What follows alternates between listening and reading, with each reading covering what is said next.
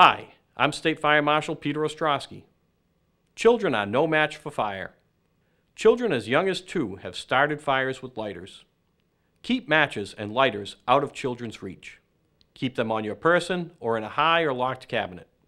Never allow children to play with matches or lighters. Teach children not to touch matches and lighters, that they are tools for grown-ups only. Teach them to tell an adult when they see them.